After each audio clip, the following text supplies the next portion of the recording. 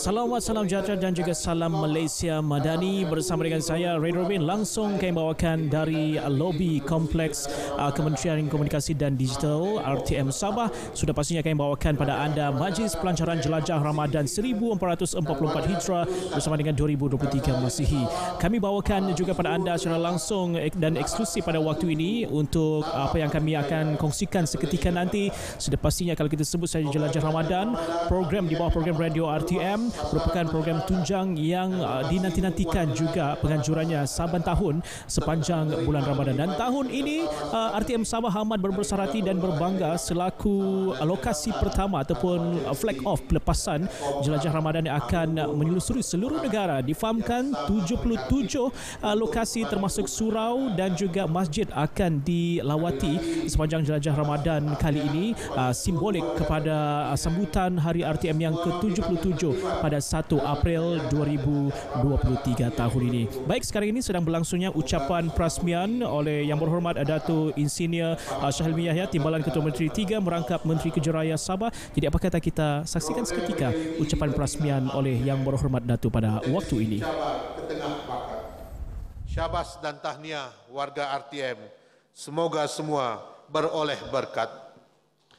Dalam kesempatan pagi ini saya ingin mengucapkan selamat menyambut ketibaan bulan Ramadan 1444 Hijrah kepada semua yang hadir dan selamat menjalani ibadah puasa di sepanjang bulan Ramadan yang penuh keberkatan kepada seluruh warga RTM, tuan-tuan, puan-puan yang beragama Islam. Semoga segala amal ibadah puasa dan juga kebaikan yang kita lakukan diberi ganjalan pahala yang berlipat ganda selaras dengan kemuliaan keberkatan bulan Ramadan yang bakal menjelang tiba.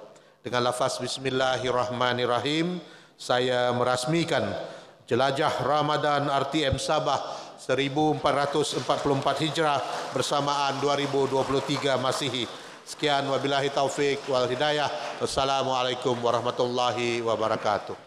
Waalaikumsalam warahmatullahi wabarakatuh. Majlis mengucapkan ribuan terima kasih kepada Yang Berhormat. Baik, demikian tadi ucapan oleh Yang Berhormat Datuk Insinyur Syahilmi Yahya, Timbalan Ketua Menteri 3 merangkap Menteri Kejaraya Sabah. Juga kami uh, amat berbesar hati kerana Yang Berhormat Datuk dapat datang bersama-sama dan seterusnya uh, merasmikan dan uh, melancarkan pelepasan jelajah Ramadan untuk tahun ini. Sekali lagi 77 lokasi yang akan dilalui dan hari ini RTM Sabah selaku uh, lokasi yang pertama uh, hari ini selepas ya, pelancaran ini dilancarkan uh, ataupun dilepaskan uh, konvoi tersebut akan terus bergerak uh, ke masjid yang terletak di Kampung Kebuni Inanam pada hari ini. Dan selepas itu dua lagi uh, masjid akan dikunjungi uh, pada minggu hadapan untuk menyampaikan sumbangan. Sudah pastinya kelainan pada uh, hari ini yang kami bawakan pada anda uh, menunjukkan keunikan dan identiti di Sabah iaitu kepelbagaian budaya dan etnik kami tonjolkan untuk pelepasan ataupun sebagai simbolik pelepasan yang berlangsung di perkarangan uh, kompleks bersepadu Kementerian Komunikasi dan Digital Kota Kinabalu ini. Dan kalau anda saksikan juga persembahan kuning tangan dari Razali Kuning Tangan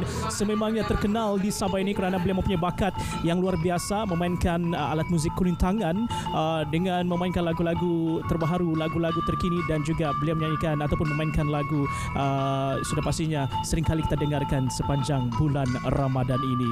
Um, dan menariknya juga pada waktu ini kami bawakan pada anda kalau uh, kalau tahun lepas kami berada di beberapa lokasi untuk menjelajah dan juga uh, menyantuni golongan asnaf tahun ini uh, keunikan yang kami bawakan juga bermula di Sabah dan seperti mana yang disampaikan dalam ucapan oleh pengarah program radio iaitu Puan Nur Ain uh, Bakir uh, akan berakhir di Perlis. Uh, jadi nantikan uh, setiap lokasi yang akan dilawati uh, jelajah Ramadan untuk kali ini sudah pastinya juga kalau anda tel, uh, berlalu ataupun uh, bersama-sama dengan konvoi, jangan lupa untuk bunyikan horn anda uh, sebagai tanda sokongan dan juga kebersamaan anda di RTM uh, sudah semestinya dalam uh, jelajah Ramadan untuk uh, edisi kali ini. Tema uh, yang kami ketengahkan di RTM untuk bulan Ramadan itu berkat Ramadan memang bersesuaian uh, untuk jelajah Ramadan uh, sebagai salah satu wadah dan juga inisiatif yang dilakukan oleh pihak RTM menyantuni golongan sokongan yang memerlukan dan ini akan kami bawakan juga dari masa ke masa bersama dengan rakan pelapor kita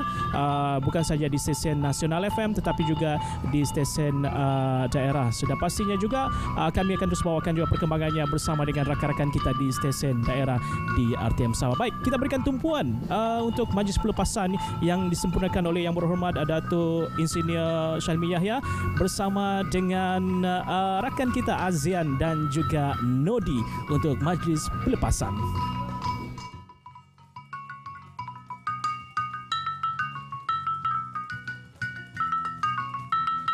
Baik, uh, terima kasih untuk anda semua dan sekali lagi kita ingin mengucapkan uh, selamat datang ke gimmick pelancaran Jelajah Ramadan RTM tahun 2023 dan kita ingin mengucapkan selamat datang untuk Yang Berhormat Datuk Insinyur Syahelmi Yahya, Timbalan Ketua Menteri Tiga merangkap Menteri Kerja Raya Sabah. Yang amat berusaha Puan Nur Ain Haji Bakir, pengarah program radio yang juga menjalankan tugas sebagai timbalan Ketua Pengarah Penyiaran Strategik.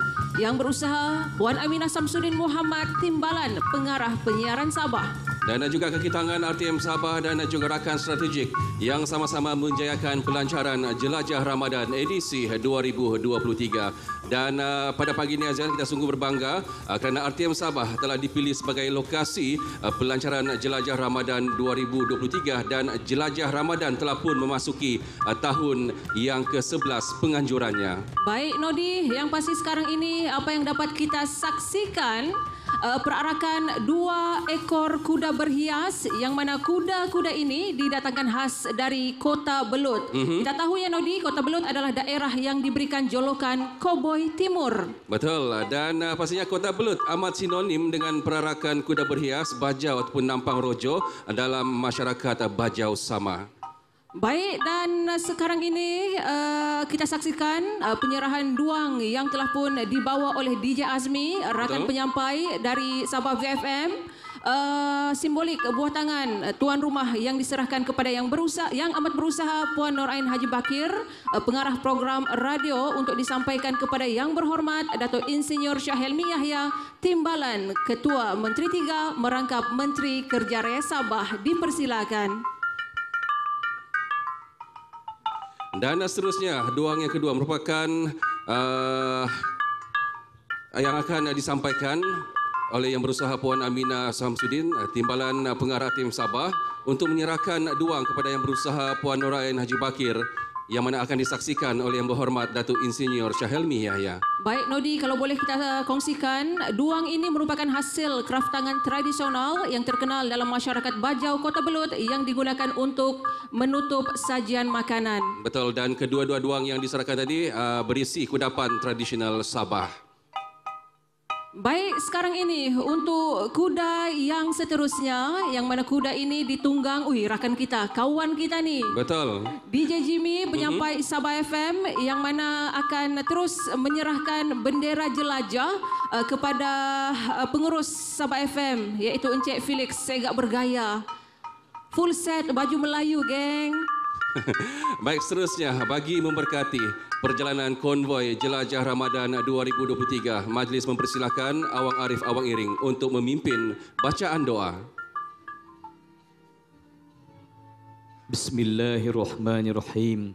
Subhanallazi sakhara lana hadha wa ma kunna lahu muqrinin wa inna ila rabbina lamunqalibun.